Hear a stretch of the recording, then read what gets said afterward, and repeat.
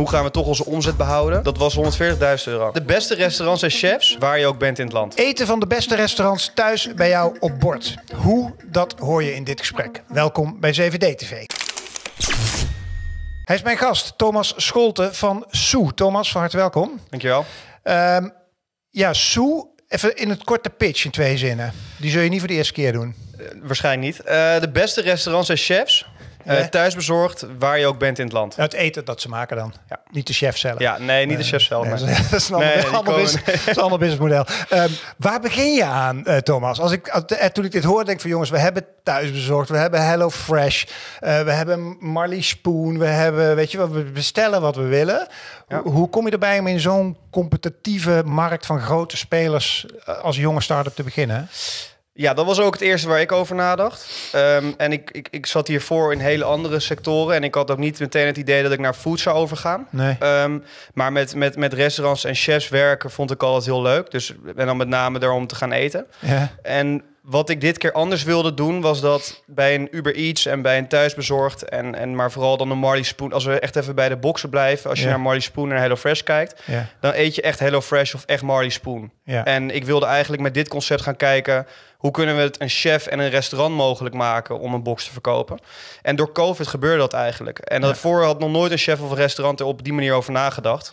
En doordat COVID werd zeg maar hun dwong om dat te doen. Ja, want dat, dus die tijd was voor hun, eh, da- daardoor werd jouw businessmodel in één keer re- reëel. Want ze Ja. waren allemaal aan het zoeken van, fuck, het restaurant is dicht en hoe krijgen we toch iets van handel? Ja, klopt. Dus het was, eh, die restaurants die moesten dicht van door, door COVID. En toen op een gegeven moment toen dachten ze van hoe gaan we toch onze omzet behouden. Ja, En toen zijn ze voor die boxen gegaan. En, eh, en daarvoor zouden restaurants dat nooit doen, denk ik. Ik denk als je bij een restaurant naar binnen gaat, ga je eten in een box doen, dan wordt het een moeilijk verhaal voor zo'n chef. Dus dat, dus ja, zo doen. Wat was je aan het doen voordat je Soe eh startte? Ik had hiervoor had ik een social media bedrijf. Ja? Ehm, en dat had ik eigenlijk tijdens mijn eh, studentenperiode. En het was super leuk. Het was, het was een Instagram imperium eh, wat alleen maar hotels en resorts liet zien. En toen op een gegeven moment toen werd dat groter en groter. En toen heb ik dat kunnen verkopen. Imperium klinkt als miljoenenbusiness. Ja, dat was het niet. Het, Oh. was, het, was, het waren heel veel volgers. Ja. Ehm, maar uiteindelijk hebben we er vooral veel gebruik van gemaakt door gratis te kunnen reizen.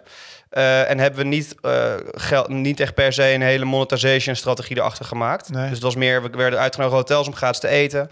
En, eh, en dat was even gratis te slapen. Ja. En dat was super leuk. En toen op een gegeven moment, toen, toen in Groningen mijn studie afgemaakt. En toen kwam ik in mijn master terecht. En toen zag ik eigenlijk iedereen om me heen nadenken over een eventuele traineeship bij een Heineken of een Unilever. Toen wist ik eigenlijk al best wel snel dat ik dat niet wilde. Ehm, en toen ben ik na gaan denken van, maar ik kwam ook niet meteen op een idee. Dus ik zat aan de keukentafel met ik wil weer gaan ondernemen, maar wat ga ik doen?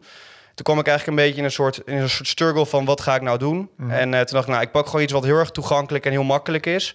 Het is COVID. Ehm, wat hebben mensen nodig? Eh, bureaus, thuiswerkspullen. En eh, hoe ga ik dat doen via het internet? Dus echt in de e-com hoek gedoken.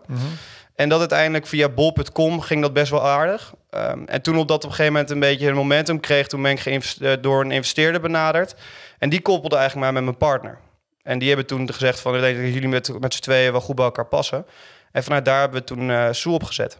Maar vertel eens even, want het klinkt allemaal heel mooi, maar dan het e-commerce via Bol, dat is ook niet zomaar te doen, toch? Ik bedoel, het klinkt allemaal heel makkelijk, maar ik bedoel, had je dan eh, grote loods vol staan of was je gewoon een dropshippen? Of eh, hoe moet ik dat dan zien? Is dat ook Ik- weer miljoenenhandel of klinkt dat ook, is het wat kleiner dan dat? Nee, het, was, het begon inderdaad echt op een dropship manier. Ik Ja. zocht iets van hoe... Ik, ik- ja, ik had eh, die filmpjes gekeken denk ik ook wel. Ik had al duizenden filmpjes gekeken van... Van Get- snel rijk worden. Precies, ja. Je Ja. had de laatste video over gemaakt. En daar, daar ben ik wel ingetrapt. Ik heb nooit een cursus gekocht, maar ik dacht wel van... blijkbaar wordt hier, gebeurt hier wat. Ja. Ehm, en toen heb ik uiteindelijk gekozen om iets te doen... wat op een dropship manier werkte op dat moment. Eh, maar snel merkte ik al wel dat dat niet echt de key was. En toen Want heb wat ik voor spullen was dat, waren dat dan? thuiswerk, eh, bureaus, eh, Ja, maar ja. ook laptopstandaards, maar vooral bureaus en bureaustoelen. Maar, en op een maar werkte het? ja, op een gegeven moment had ik een loods in Brabant, Ja. waar die op opslag lagen, waardoor ik dus als een van de weinige partijen op bol.com voor 11 uur s'avonds besteld morgen in huis. Dus op een gegeven moment waren de volumes er wel dat ik dat soort dingen kon doen. Oké, Maar dat was in het begin niet zo. Nee, oké. Maar waarom ben je daar niet mee doorgegaan dan, als dat zo lekker ging? Omdat ik niet echt... eh, ik, het- ik werd er niet warm van. Eh, dus bureaus en bureaustoelen, het, het werkte goed. En ik, eh, de, de omzet was er, dit was allemaal heel leuk. Ehm, maar ik had altijd zelf al wel het gevoel dat ik wat serieus wilde gaan doen... op een, een concept wat eventueel de grens over kan gaan. En waar ik iets meer ja, een warm hart voor toedraag. Ja, Ja, dit is gewoon handel. dit was gewoon keihard handel, inkoop, verkoop. En Maar kon je ervan leven, van die e-commerce handel? ja, ja, ik kon er wel van van leven. Eh, dus ik had wel, en dat gebeurde tijdens mijn master, dus ik had wel enorm toen al dat ik dacht van, het heeft me wel getriggerd om iets voor mezelf te gaan doen. Maar hoe kom, en dan kom je bij die angel investor. Ehm, hoe, waarom benaderde die jou om dan te koppelen aan, hoe heet die partner ook weer van je? Devin. Die stukje ouder, hè? Ja, die is iets ouder. Ehm, dat ging eigenlijk als volgt. Dat was een soort, dat was een VC. Dus en daar werkte die, die investeerder die werkte daarvoor. Dat was de, de hoofd van het fonds. En die, die kende ik al voordat ik met mijn werkkamer bezig was. En die hield mij natuurlijk ook in de gaten via, via LinkedIn. En eh, toen uiteindelijk ben ik door een traject van die VC gegaan. En daar heb ik mijn co-founder ontmoet. Oké. Dus we zijn eigenlijk... Maar door een traject gegaan. Ik vind het helemaal interessant wat je zegt. Ja, ja. Don't mind me to, omdat ik doorvraag, want ik wil het niet snappen. Eh, door een traject gegaan bij die VC. Hoe, hoezo? Ja, dus die VC die heeft een bepaald programma opgezet. En Ja. daar kunnen dan solo founders zich voor aanmelden. Die dus op zoek zijn om eventueel nieuwe mensen te leren kennen. Ja, ja. En zo ben ik er ook ingegaan. Ik had met... Kost dat dan geld? Nee, nee. Dus er, moet, er is wel een strenge selectie. Dus er kunnen zich 2.500 mensen melden zich er elk jaar voor aan. En dan Aha. worden uiteindelijk maar 50 gekozen. En zij spotten dan, zeg maar, types zoals jij. En, die, en, dan, en dan koppelen ze, zeg maar, goede teams aan elkaar. En die koppelen ze dan weer aan concepten. Ja, het was, het was wel echt ons idee. Ehm, maar wat zij dan doen is op het moment dat zij eh, dus twee founders hebben geconnect... en ze geloven in die twee founders... dan denken ze van... wij geloven dat deze twee gasten... of een vrouw kan natuurlijk ook... Ja, ja. ehm, met dit geld dit idee kunnen uitwerken. Dus we krijgen eigenlijk op een idee-stage... krijgen Ja. we een bepaalde funding van hun. Oké, dus jullie zijn gekoppeld met z'n tweeën. En toen zeiden ze, gaan maar een idee verzinnen. Ja. Dus jullie aan de keukentafel zitten. Ja, hij kwam al van een food-achtergrond. Ja. Dus hij had in eh, Zuid-Afrika had hij een franchise-keten opgezet. Eh, en eh, uiteindelijk heeft hij die deels kunnen exiten. Toen ging hij naar Nederland en toen wilde hij eigenlijk ook weer iets in, in de food space gaan doen. Niet per se restaurants, maar hij had er natuurlijk wel aanleg voor.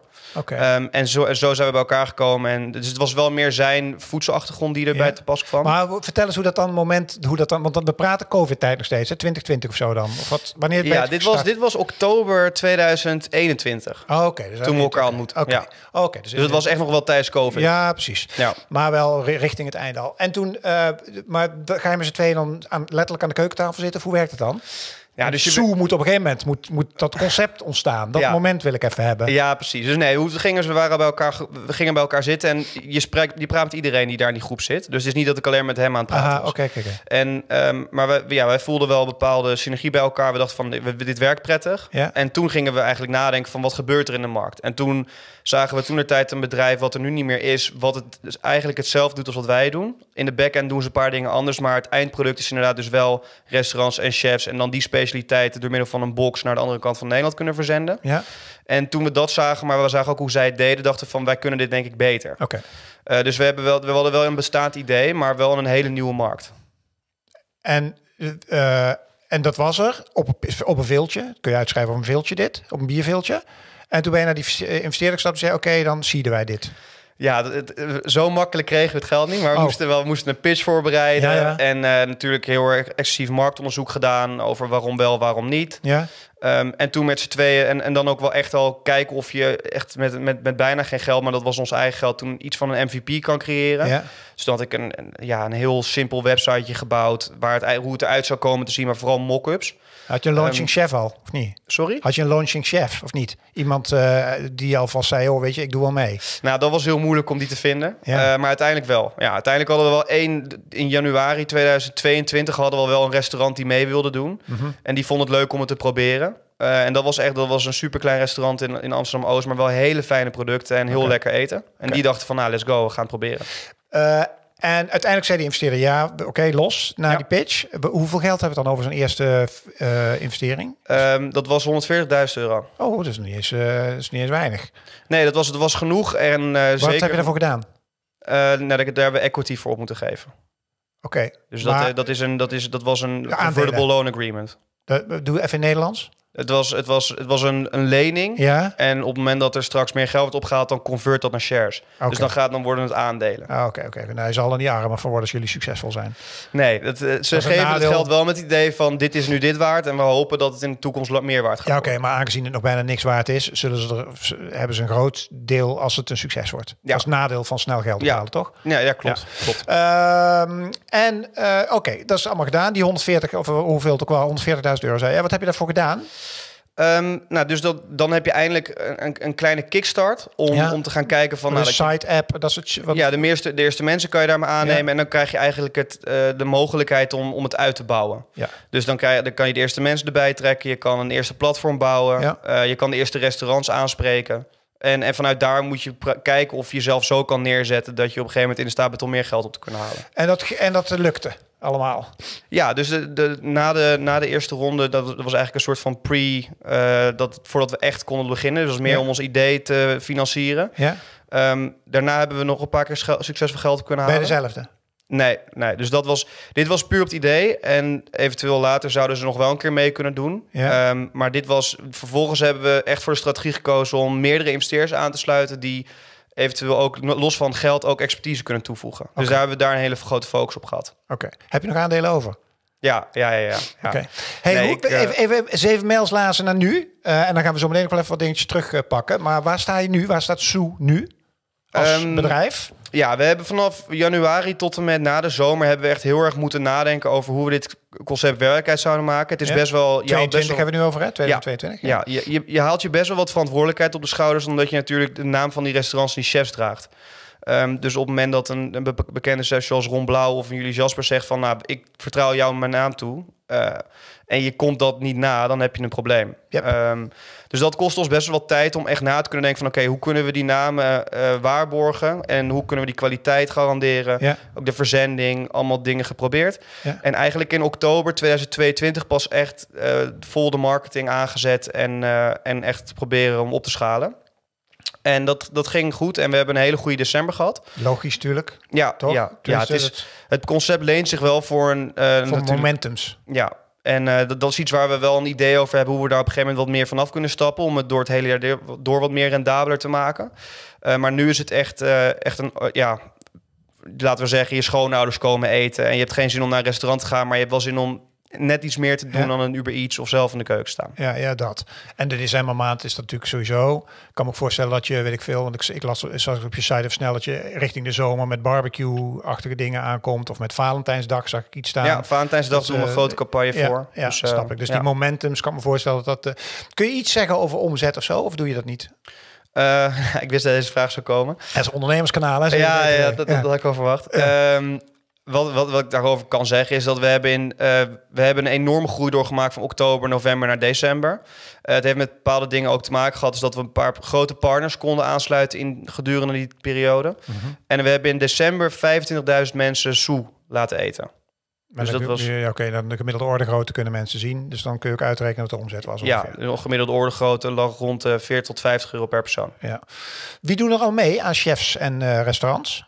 Eh rond blauw, eh, dat is een grote. Eh, maar we hebben ook, ja, dus het is een beetje een mix van brands, restaurants en ja, chefs. Ja, Ehm, dus er zijn chefs zoals jullie Jaspers die meedoen. En dan een Ron Blauw met zo'n gastrobar. Maar je hebt ook een brasserie zoals Van Dam die meedoet. Mhm. En dan hebben we een paar restaurants die eh, ja, in hun eigen buurt goed bekend zijn. Die ook meedoen. Ah, slim. dus die, hebben, en die, die zitten elk weekend vol. Maar dat zijn bijvoorbeeld de beste restaurants van een bepaalde stad. Waar die Ja. in de rest van Nederland niet per se heel bekend zijn. Maar het wel heel leuk vinden dat ze nu op dit concept door heel Nederland kunnen verkopen. Wat zijn de, ehm, de lastige dingen in dit bedrijfsmodel? Ehm, ik denk logistiek. Ja, Eh, dat, dat is natuurlijk, je, ja, je, je hebt echt een product wat met fluwelen handschoentjes behandeld moet worden. Eh, dus je kan je voorstellen, en dan met name als je naar een fine dining box toe gaat en de bezorger doet één keer zo, dan heb je een probleem. Eh, dus dat, daar, moeten we, daar moeten we heel erg scherp op zijn. Ehm, en ja, we, we proberen, we zijn nu natuurlijk echt een bedrijf wat heel erg richt op eh, je schoonouders komen eten. Of je hebt voor kerst of voor Valentijnsdag. Maar uiteindelijk hebben we natuurlijk ook de ambitie om te kijken hoe we los van die dagen ook bij mensen in hun leven kunnen komen. Dat we niet elke keer een excuus nodig hebben Ja. om, om gekocht te worden. Maar dat we echt ja. kunnen kijken van hoe kunnen we het hele jaar door onszelf zo aantrekkelijk maken dat mensen het hele jaar terugkomen. Lees abonnementsvorm dan? Dat zou een optie kunnen zijn. Eh, dat is niet iets wat nu op de planning staat. Wat, wat Ehm. zijn andere mogelijkheden dan om dit, de, om dit te realiseren? Nou, we zijn bijvoorbeeld nu met bepaalde chefs in gesprek om, eh, om te kijken naar eh, frozen meals, waarbij je dan bijvoorbeeld een box hebt van Soe en die krijg je dan op de maandag en er zitten dan drie verschillende gerechten in. Maar het komt wel elke keer weer terug bij het feit dat het van een restaurant of een chef is. Wij willen niet in het vaarwater gaan zitten met dat we mealboxen van Soe willen verkopen, wat van Soe is op dit moment. Het moet echt elke keer weer terugkomen bij de USP dat je komt naar Soe omdat je jouw favoriete restaurant of jouw favoriete chef wil bestellen. Leg eens uit hoe dat werkt, want je zegt het even heel snel net, hè, van eh, het proces van bezorgen is nogal van belang. Ja, dat kan ik me dus voorstellen, want eh, leg mij eens even uit hoe zo'n Ron Blauw, die doet mee Ja. met zijn gastrobar. Hoe werkt het dan even van het begin? naar- Ik bedoel, staat hij nou, smiddags staat zijn team dat te koken, die gooien het in zakjes en in doosjes. Eh, Kun je dat proces eens even, dat logistieke proces van begin naar eind even uitwerken voor me? Ja, ja nee, Ron heeft een, Ron heeft een, een, een groep van chefs. Ja? Ehm, die, die uit zijn naam koken voor Ron. Dus dat is echt de, de Ron keuken. En die doen, eh, naast het feit dat ze ook eventueel mise en place voor de restaurants doen, maken ze dus die boxen. Ja, ja. Ehm, en in plaats van dat het naar de restaurants gaat, gaat het naar mensen thuis. Dus het zijn wel dezelfde recepten, dezelfde mensen die echt Maar wordt het in de staan. keuken van hun, of heb je specifieke zoekkeukens? Nee, we, dit, wordt, dit wordt niet in, onder, het, onder het soedak gedaan. Dus sommige restaurants doen het in hun eigen restaurant. Sommige restaurants die hebben bijvoorbeeld een productiekeuken waar Ja, ze mise en place doen voor hun restaurants. Oké. En, maar hebben ze speciale verpakkingsmaterialen? Is dat uniform? Of zoekt iedereen dat zelf uit, hoe ze dat doen? Laat zeggen, wie is verantwoordelijk voor dat? Uiteindelijk moet het in een doosje naar mij. Ja, ja, Wie is verantwoordelijk voor de, do- de bakjes en de shizzle wat er allemaal in zit? Ja, precies. Nee, dat zijn de restaurants zelf. Dus de restaurants die, die weten zelf precies over hun componenten van hoe moeten we dit inpakken.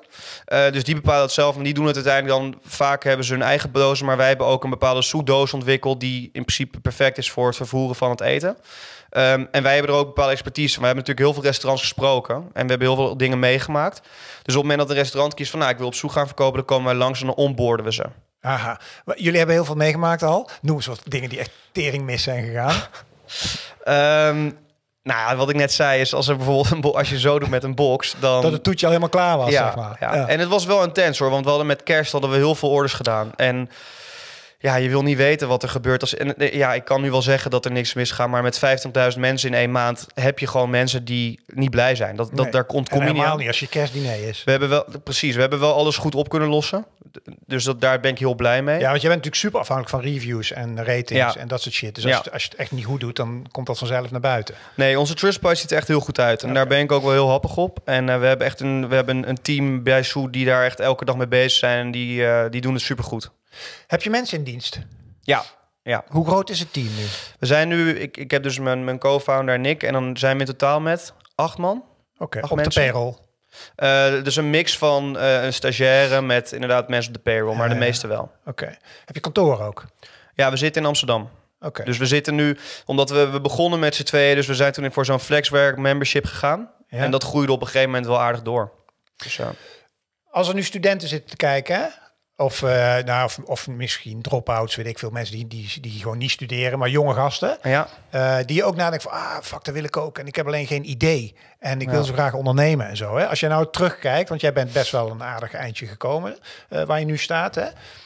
Wat zijn dan belangrijke lessen als je terugkijkt vanuit je studentenbank, zeg maar, naar nu? Goeie vraag. Even denken. Dat, dat, dat zou denk ik. Wat ik, wat ik tot nu toe altijd heb gedaan, en dat is eigenlijk, dan moet ik oppassen dat ik niet te veel zo'n YouTube-filmpje wordt hier. Maar eh, w- wat de eerste twee dingen die ik heb gedaan, dat heeft me niet relatief heel rijk gemaakt, maar het heeft me wel heel veel kansen geboden. Dus dat eerste wat ik deed met die hotels op Instagram, dat was heel toegankelijk. Iedereen kon ervoor kiezen om een, een account aan te maken en foto's van hotels te posten. Dus heel, het was heel toegankelijk, heel easy. Ik had er 0 euro voor nodig. Daar heb ik wel wat geld mee kunnen verdienen, maar het heeft ook heel veel deuren geopend, waardoor ik daarna later dus in die e-commerce wereld terecht ben gekomen. En, en, en ook dat was heel toegankelijk. Het was een Shopify-website. ehm, het was gewoon eh, vijf leveranciers een e-mail sturen van ik wil je bureaus verkopen. En deze drie gaan het al doen. En jij kan eventueel de vierde worden, terwijl die andere drie nog niet eens hadden toegezegd. Dus het is ook een beetje kijken hoe je, hoe je er doorheen kan komen. En toen op een gegeven moment toen wel een, een best wel veel producten op een website kunnen zetten, wat heel toegankelijk ging.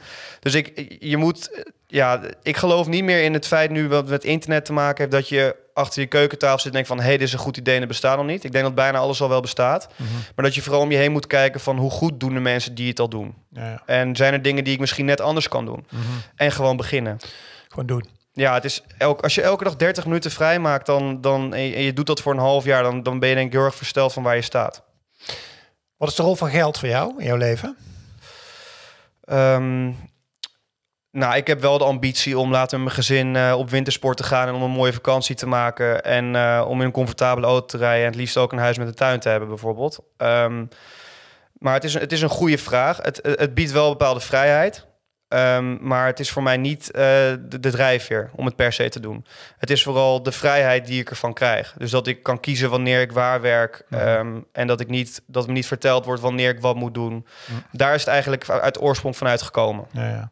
En als je het hebt over drijfveren, wa- wat zijn jouw drijfveren als ondernemer nu? Dat, want je bent nu met Soe bezig. Ja. Wat, wat drijft jou? Eh, want je moet er hard voor werken, denk ik zomaar.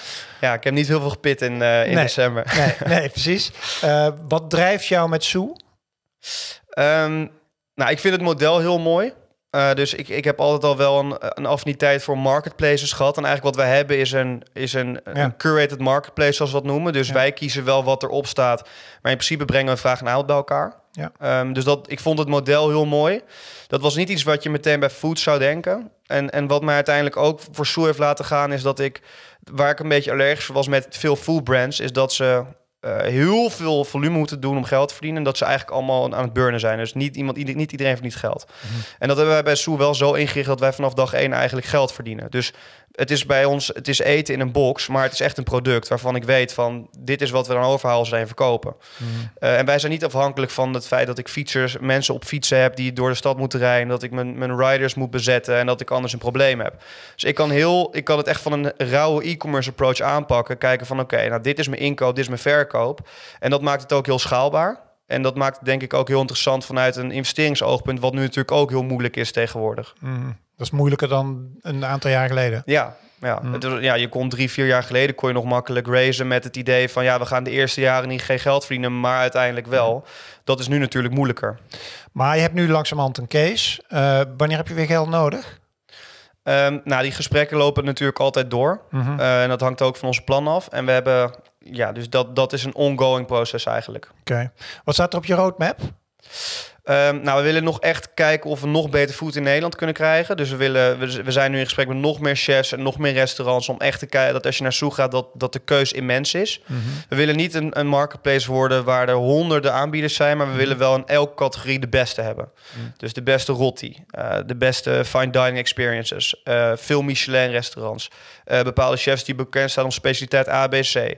Dus we willen echt zorgen dat dat, dat, dat geweldig is. En op een gegeven moment hebben we ook de ambitie om over de grens te gaan. Is logistiek, tot slot pas even een, een dingetje nog dat ik wil weten. Is logistiek, is, loopt dat een beetje? Want doe je dat gewoon met de PostNL's van deze wereld? Of hoe werkt dat? Nee, we hebben wel echt een specifieke vervoerder. En daar hebben we een, een, een hele goede, eh, ja, een goed contract mee gesloten. Dus we weten precies wat we aan elkaar hebben. Wat moet gekoeld en alles? En, eh, Ja, het is gekoeld. Moet je niet met Picnic samenwerken dan? Die busjes die komen overal, die dingen. Ja, nee, Picnic, heeft, Picnic is een van de bedrijven waar ik zelf ook wat heb besteld. En waarvan ik van een logistiek oogpunt enorm respect voor heb. Dus Zo. ik zie hoe zij dat hebben aangepakt. En dan met Ja. name ook de tech die erachter hangt. Ja. Ehm, dus nee, daar zou ik zeker een keer koffie mee willen drinken. Dankjewel voor dit gesprek, eh, gedaan. Thomas. En eh, ik wens je eh, heel veel succes met, je, met je onderneming. En dankjewel dat je mijn gast was. Ja, dankjewel. Is gelijks.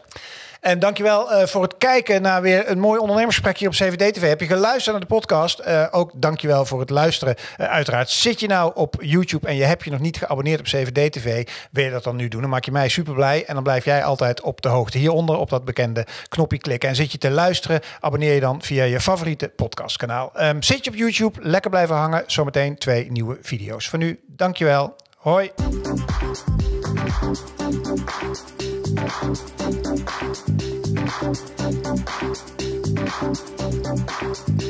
you.